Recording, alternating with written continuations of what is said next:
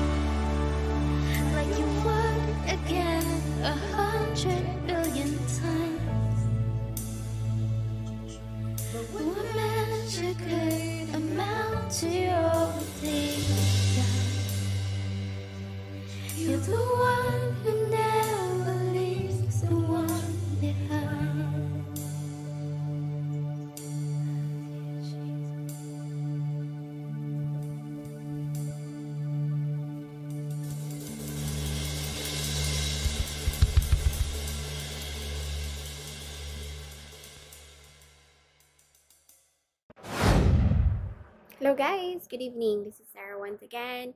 And yes, thank you so much, uh, Kenosis, for that wonderful time of worship. And tonight, uh, we will be having conversations about do do what it says or doing what uh, what God says for us to do. All right, but before we do that, let's go visit one country first. So let's go to Japan, land of the rising sun. Konbanwa or good evening. Konbanwa. Alright. And this is their flag. And of course, who knows uh, Sanrio? So who loves Sanrio? Hello Kitty. So yeah, it's a Japanese company. Maong cute kayo na ilang mga characters, right? Kawaii. So that's Sanrio. And bonsai, the term means tree in a pot. So this art of growing miniature trees actually originated in China and was adopted by Japan during the Kamakura period, which is uh, from 1185 to 1333. So food, um, takoyaki. This is octopus balls, uh, street food in Japan, and of course ramen, atong favorite, right? Japanese noodles uh, soup. All right. So tonight, uh, guys, we will encourage ourselves to just do it or do what God is telling us to do. Okay? Dili ta magpagahigay ulo. Right? Ako ra dito. Right? I don't know what you may be going through, but I pray that our conversation tonight would encourage you to pursue your walk in the Lord as He is always good and faithful to never leave you nor forsake you. Right? He is always with you no matter what you're going through at this very moment. So just hold on tight. And before we dig into God's word, let's um, pray first. Hallelujah, Father God. We thank you for your goodness, for your love, for your grace, for your mercies. Lord God, we thank you for your faithfulness, Lord God. There's no one else like you, Lord. So tonight, we just surrender everything at your feet, Lord God. We lay down our hearts before you, our thoughts, Lord God, and we pray that we just get to receive whatever you have prepared for us to receive this night, Lord God. Just have your way in our fellowship, Lord God. Do you be the glory, the honor, and the praises? This we pray in Jesus' mighty name. Amen. So, uh, let's go to uh, James chapter 1, verses 22 to 25. Uh, it says, My dear, uh, I'm sorry, this is uh, James 1, uh, chapter 1, verses 19, 19 to 25. Okay. My dear brothers and sisters, take note of this. Everyone should be quick to listen, slow to speak, and slow to become angry, because human anger does not produce the righteousness that God desires. Therefore, get rid of all moral filth and the evil that is so prevalent, and humbly accept the word planted in you, which can save you. Do not merely listen to the word and so deceive yourselves. Do what it says. Anyone who listens to the word but does not do what it says is like someone who looks at his face in the mirror and after looking at himself goes away and immediately forgets what he looks like. But whoever looks intently into the perfect law that gives freedom and continues in it, not forgetting what they have heard, but doing it, they will be blessed in what they do. Amen. Hallelujah. So, tonight, let's talk about um, doing what the Lord God says in us. I believe that He has a message for us individually. So, um, I pray that we get to obey um, what He's telling us to do. All right. So, in order to do that, we have to have the listening skill, the ability to listen, right? So, listening skill. Listening is the ability to accurately receive and interpret messages in the communication process. So, listening is key to all effective communication. Without the ability to listen effectively, uh, messages are easily misunderstood. And listening is one of the most important skills that one can have, right? Especially sa kanang nasa customer care uh, industry or I believe wherever we are, no, it's really important to have um, the listening skill because it's you know very important in our relationships, right? So it says there in verse 19, my dear brothers and sisters, take note of this. Everyone should be quick to listen, slow to speak, and slow to become angry because human anger does not produce the righteousness that God desires. So communication is very much important in any relationship. That's what I've mentioned earlier, most especially in our relationship with God, right? So to effectively communicate, one must know how to listen well. In our relationship with God, dili pwede nakita na lang, sige yung storya, right? Nga si Lord, ra, sige Panginoon na to. So most of the time ra ba, atwata na ng storya, correct? Right, correct. Okay. So it's a two-way conversation. So we need to learn how to listen to the Lord when He speaks to us. We take time to listen to those we held uh, in high esteem, such as our teachers, um, parents, clients, customers, uh, work, right? Bosses, leaders, our pastors, and even earthly authorities, right? But most of all, we need time to listen to God as He speaks to us. So again, love is spelled as time, T I M E. So when we share our time, that is already an act of love. That's already saying that I care for you and I'm listening.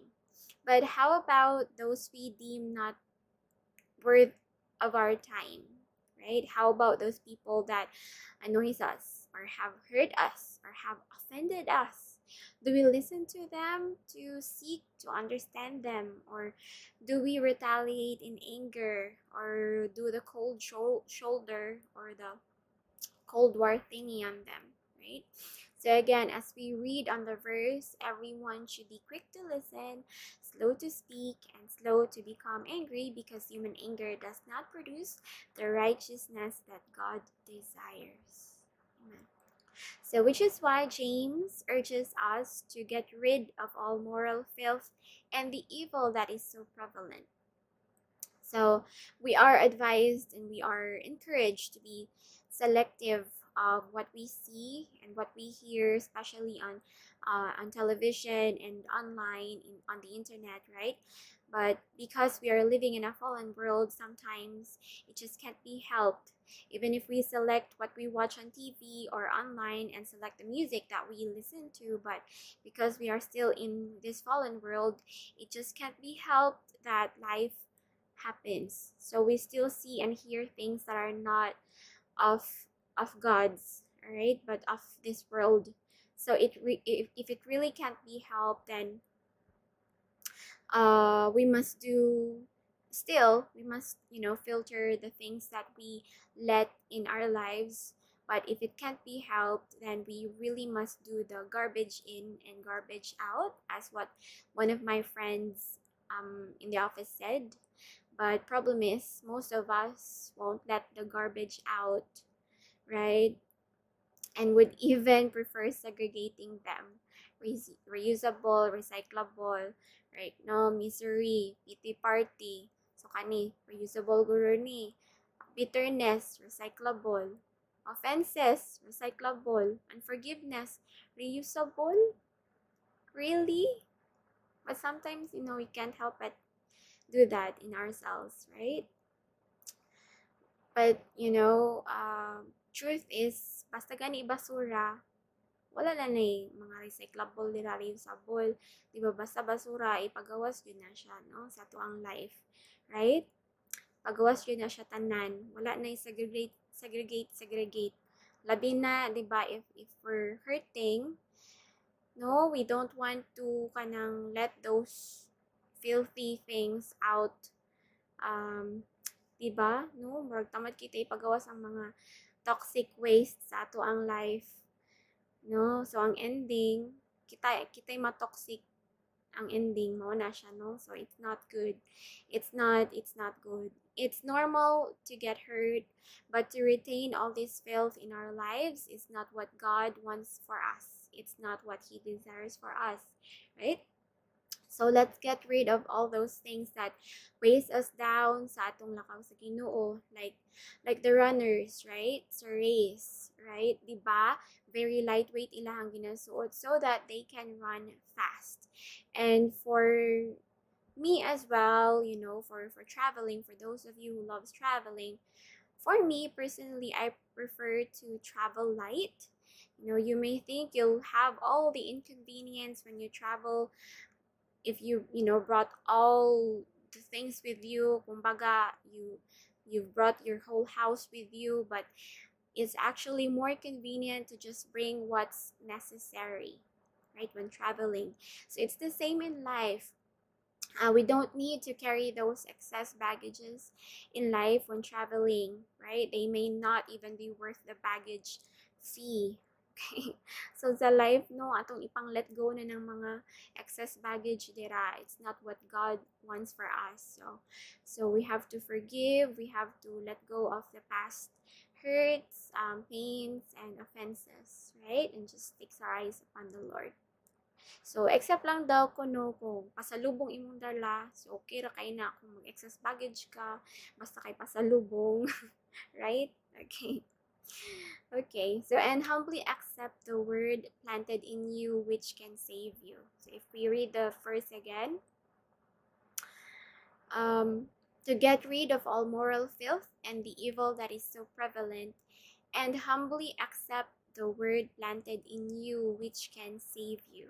So it says that the word is planted, which means we are expecting that this will bear fruit, right, in our lives.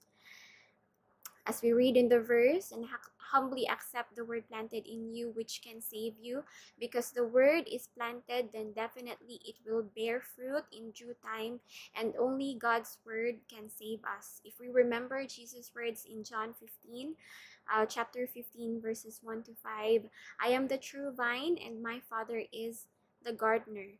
He cuts off every branch in me that bears no fruit, while every branch that does bear fruit, he prunes, so that it will be even more fruitful. You are already clean because of the word I have spoken to you. Remain in me, as I also remain in you. No branch can bear fruit by itself, it must remain in the vine. Neither can you bear fruit unless you remain in me.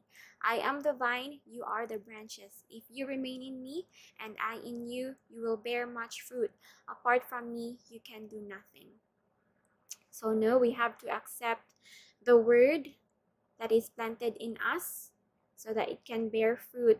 And this word can definitely save us. And we know who the word is, and that is Jesus Christ. Amen. Amen.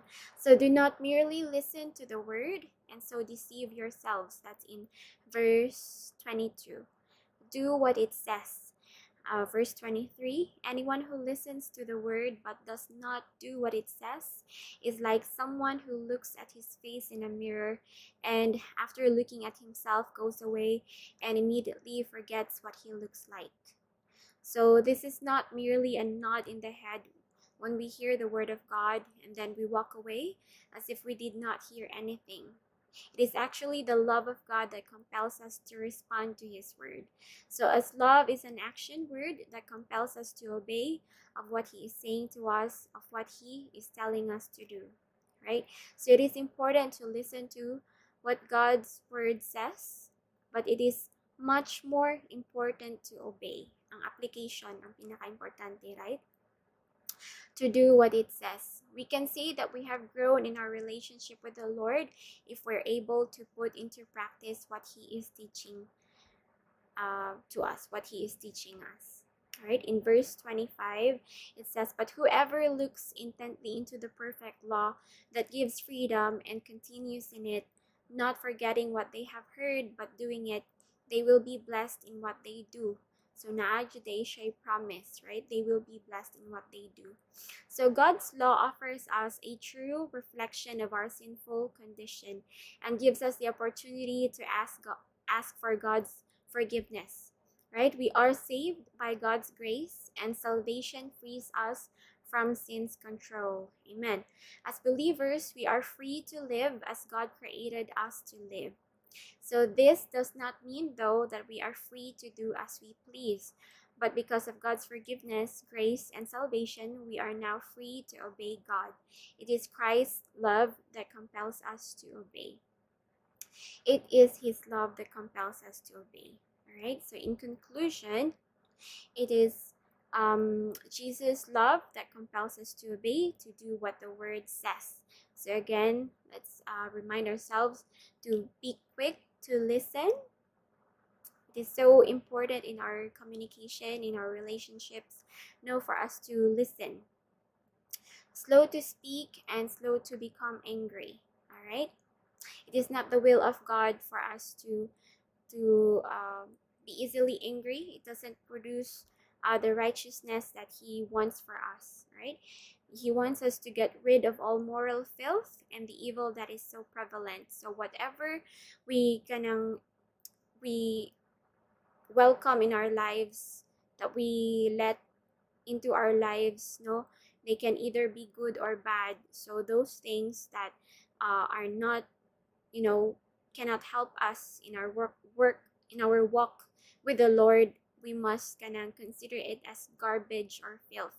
So, garbage in, if natay mga nap- napasulod na mga garbage, because it can't be helped we are still living in this kind of fallen world. So garbage out. So gawas yun na siya no? We don't want to be toxic. It's not what god wants for us right? He wants us to kind of to be a vessel for him to be uh, to be used by him all right for the indwelling of his holy spirit. So we have to let those garbage out in our lives okay? Humbly accept the word planted in you which can save you. So we must um, accept the word of god um, in us no? We remember that jesus is the vine. We are the the branches. So we are expected to bear fruit um, through the word uh, that that God has placed in us. Right, so uh, definitely um, it should bear uh, good fruit in us. All right, to to do the will of God. All right, and do not merely listen to the word and so deceive yourselves to what it says. So no na gani uban na mas may pa daw na na makamemorize tag one verse but we are doing it it can be seen in our lives than for us to know a lot of verses but it's not seen in our lives. So i believe that this is a word for all of us to really kind of not take the word of god um, for granted. And most especially we have to really apply it in our lives no? For us to bear fruit all right, for the glory of God. So do not forget what you've heard. Continue doing it, and you will be blessed in what you do. So there's a promise in there that if we continue uh, doing what we have heard, na dili ta magkalimot-kalimot, alright? Kay usahay atong ipasangillan ng ato ang age. well, well, that's true, but definitely when it comes to the word of God, we should not forget what we've heard, all right? And we should apply it in our lives so that we will be blessed in whatever we do. Okay, so I hope that you uh, have learned something tonight na to ang ma ma-apply sa atong life because that's the goal, right? To to grow in the knowledge and the grace Jesus Christ. Alright? Dili ta makontento sa kung asa ta karon but we have to grow um mat- maturely, spiritually. Alright? For for um for God's glory alone. For us to be used for his kingdom, for the expansion of his kingdom, for his work here on earth to be done. Alright? For us to fulfill his purpose in our lives here on earth. So let's pray. Hallelujah, Father God, we thank you for tonight. We pray, Lord God, that you help us through your Holy Spirit, Lord God, to do your will in our lives, Lord God. Lord, we can't do this apart from you, Lord God. So help us to always abide, Lord God, in you, Lord God. Help us to always obey you, Lord God. It's your love that compels us to do your will in our lives, Lord God. Help us to not forget, Lord God, what you have kanang spoken to us, Lord God. Hallelujah, Lord God. So tonight, Lord God, as we part ways, may you just continue to be, Lord God, with us, Lord God, for those who are working, um, continue to bless the works of their hands, and for those who are resting, Lord God, we pray for your kanang to refresh us once again, Lord God, as we as we rest tonight, Lord God. We thank you for your goodness, for your grace, for your love, for your mercies, Lord. We thank you for your presence in our midst, and I pray, Lord God, that you just can have your way, continuously have your way in our lives, Lord God, as we also continuously surrender, Lord God, to your will, Lord God. Just have your way, Lord. This we ask and pray in Jesus' mighty name. Amen. Sayonara, guys. See you again next time.